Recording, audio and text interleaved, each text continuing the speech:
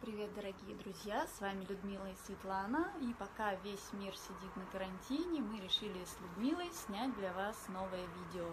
Э, в этом ролике мы хотели бы поговорить о наших предыдущих походах. Э, не все из них были удачными, и поэтому мы хотели бы разобрать наши ошибки, чтобы вы их не повторяли. Первый наш поход состоялся еще в 2014 году. Тогда мы с Людмилой совершили несколько ошибок. Это касалось как э, планирования маршрута, так и снаряжения. И самая главная ошибка была неправильно подобранная обувь. Первый свой поход я отправилась в кроссовках наподобие этих. До этого прогуливалась в них по Москве неспешным шагом и полагала, что в походе они мне тоже сгодятся. Но от долгих переходов то по пересеченной местности, то по асфальту, то еще по каким-то болотам ноги ужасно натерлись, и я пришла к выводу, что кроссовки мне не подходят для похода. Следующим вариантом моим были вот такие ботинки. Их я купила в сплаве всего за полторы тысячи рублей. Они мне служат уже 7 лет. В них я прошла уже больше тысячи километров и по зоне, и не только по зоне, а просто по лесам. Очень надежные ботинки, пережили и мокрый поход наш с Людмилой, и сушку на костре. Нигде не расклеились.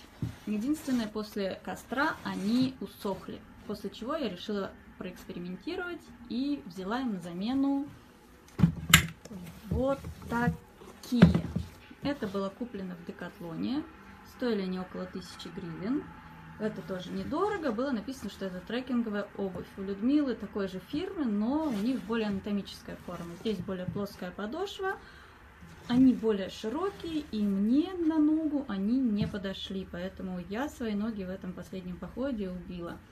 Они были натерлись, стопы очень сильно уставали, идти по асфальту было просто невозможно.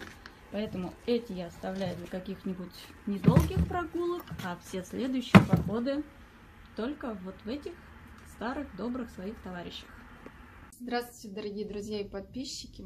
Как уже говорила Светлана, мы решили снять а, видео об ошибках и удачах и неудачах в наших походах а также о тех а, гаджетах и приборах, которые действительно пригодились, а которые оказались абсолютно бесполезными. После неудачной попытки использования пауэрбанка на солнечной батарее я приобрела себе вот такой аккумулятор на литийно-ионной батарее объемом 20 800 мА. А, для подзарядки Samsung S9 его хватает на 3-4 раза. Если смартфон а, попроще, то заряда этого аккумулятора может хватить до конца похода и даже еще остаться. В нем есть а, два входа для подзарядки двух гаджетов. Также имеется фонарик встроенный, которым я никогда не пользовалась. Ну и как у всех хороших э, приборов, у этого аккумулятора есть один существенный недостаток. Он тяжелый, весит 446 граммов, что для похода, я считаю, это много. Потому что из таких вот э, гаджетов, э, приборов складывается основной вес рюкзака, и в итоге он, рюкзак получается тяжелым. Ну вот с таким копеечным фонарем мы ходили со Светланой в наш первый поход. Он действительно стоил а, копейки. Это какая-то китайская фирма. И сейчас я вам продемонстрирую, как он светит.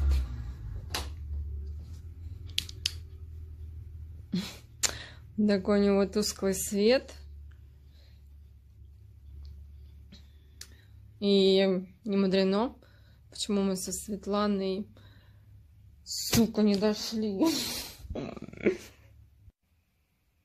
Ну, а в последний поход мы брали с собой вот такой светодиодный фонарь немецкой фирмы LED Lancer.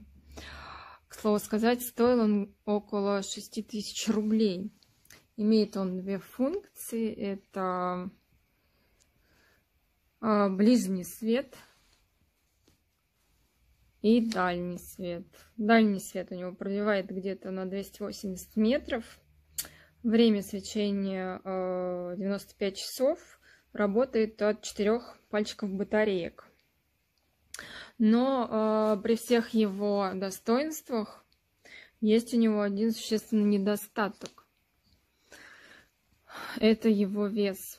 Весит он где-то 360 граммов, и для похода я считаю, что это очень тяжелая вещь. Но зато этот фонарь очень надежный и не раз нас выручал. Дальность свечения, как я уже говорила, у него 280 метров, но мы практически им не пользовались, потому что в темноте по зоне идти с дальним светом реально было страшно. Хотелось видеть только то, что перед ногами, а что творилось там вдалеке в лесу, совсем видеть не хотелось. А теперь о самом, пожалуй, главном походе – это обувь. Как показал наш со Светланой Горький опыт, обувь надо подбирать тщательно и не жалеть на нее никаких денег, потому что с плохой обувью до Припяти вы не дойдете. Вот наподобие таких кет у меня были в первом походе.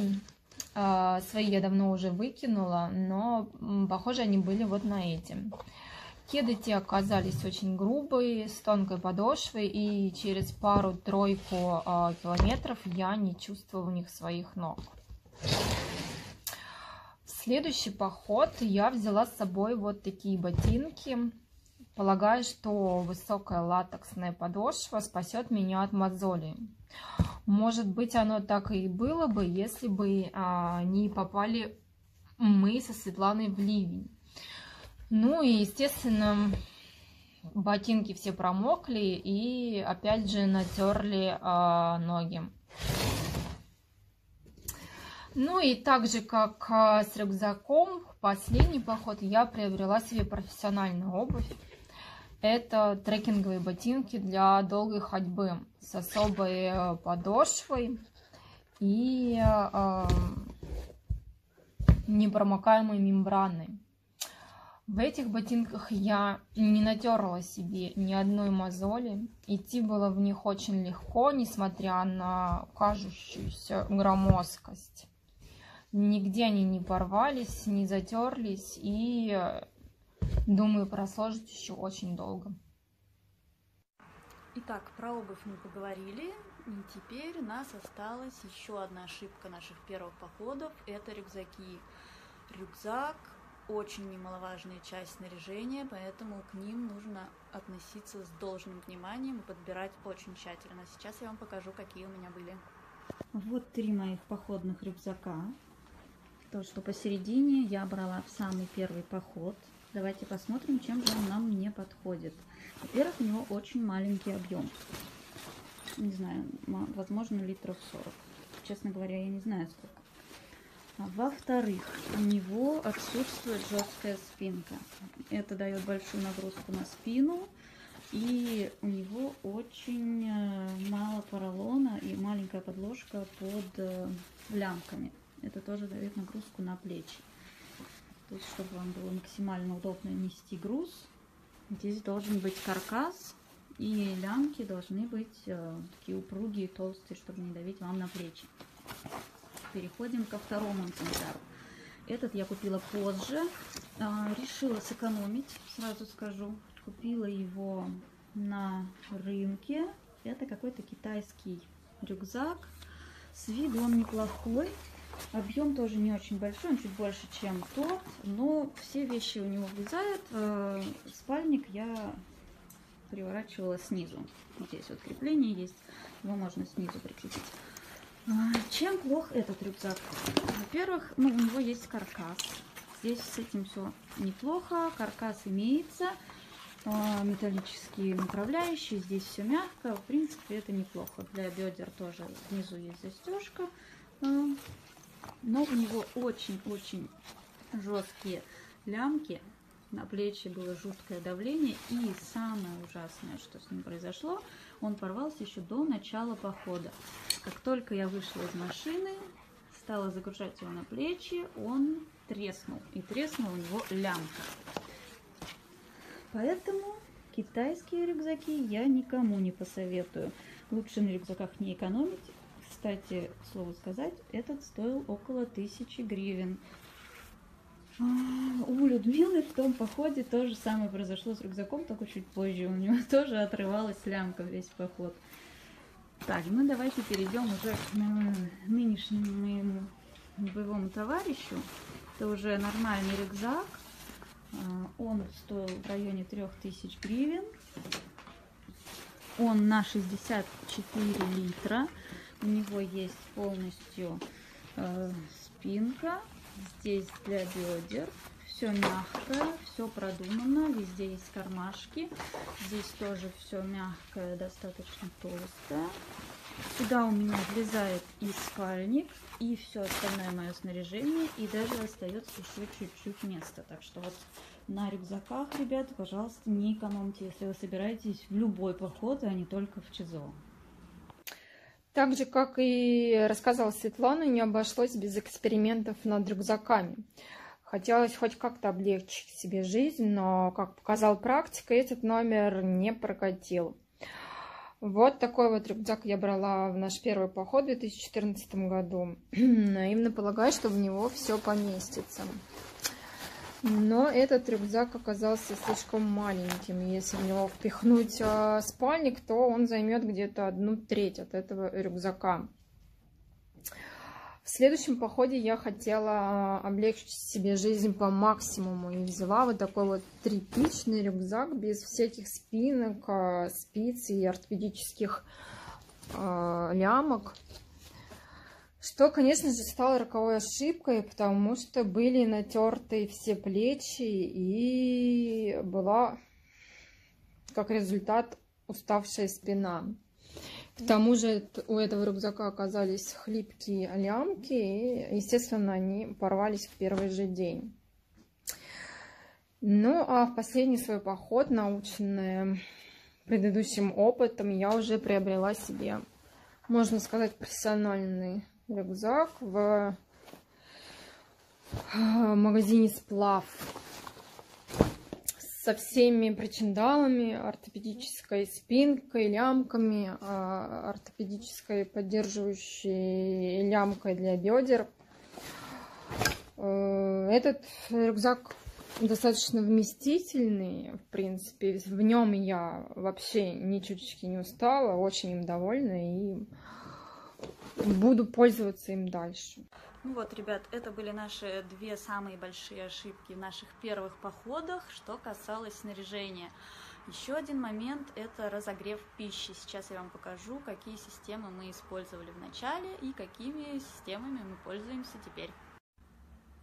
Первых наших походах для разогревания пищи мы использовали сухое горючее. Оно выглядит как таблетки. В комплектах идет еще металлическая подставка под кружку.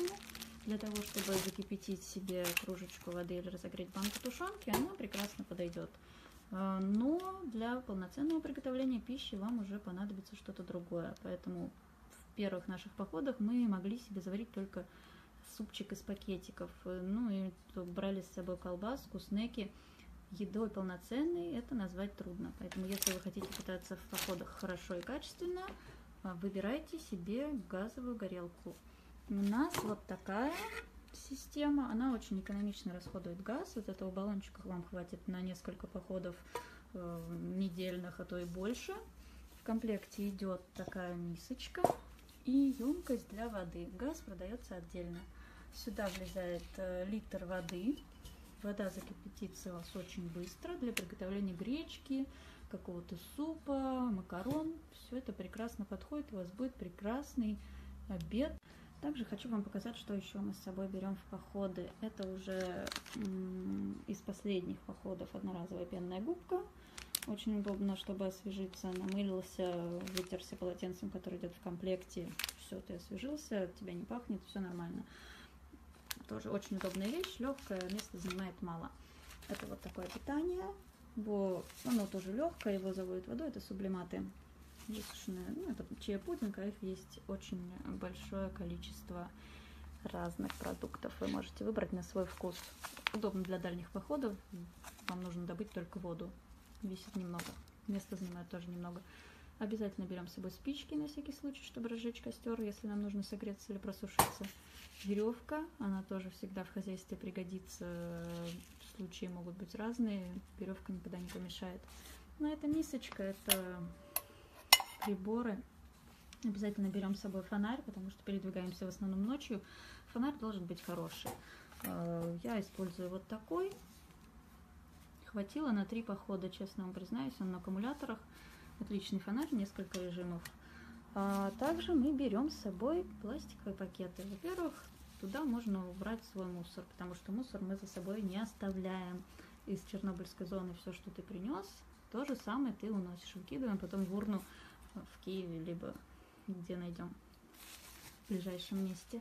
Также в эти пакеты можно упаковать вещи, чтобы они не намокли от дождя.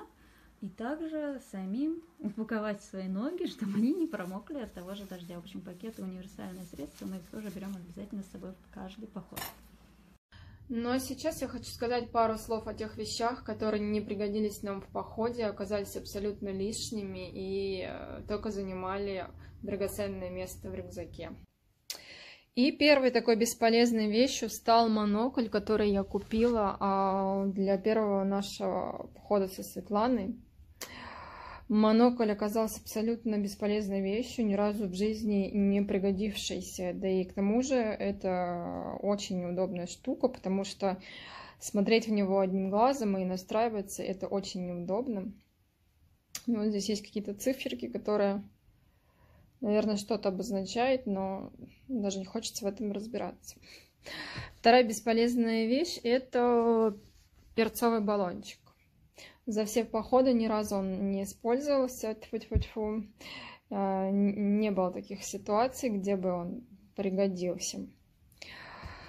А, третья бесполезная вещь – это вот такая вот пузырчатая пленка, которую я брала с собой в первый поход – для использования а, в виде подложки под э, спальный мешок.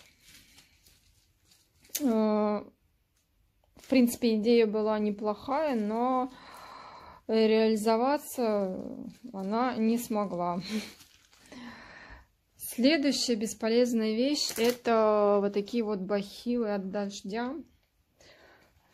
А, которые покупались в фикс-прайсе. К счастью, они не пригодились, а, но я думаю, что вряд ли они смогут выдержать а, ту нагрузку, которая приходится на обувь в зоне отчуждения при преодолевании многих и многих километров. Ну и последняя вещь – это мой желтый плащ-дождевик принципе, это не, не столько ненужная вещь, сколько просто совет не брать такие яркие а, дождевики а, в зону отчуждения. Потому что они действительно очень видны даже в темноте. Ну, на тот момент у меня ничего не было, поэтому пришлось взять его. Он на самом деле очень крепкий, спас нас от ливней, но э, просто каким-то чудом мы э, с ним не попались. Ну вот, друзья, мы со Светланой рассказали вам о наших ошибках в первых походах, о нашем небольшом опыте. Делитесь и вы в комментариях своими а, неудачами, своим опытом. И подписывайтесь на наш канал и ставьте лайк.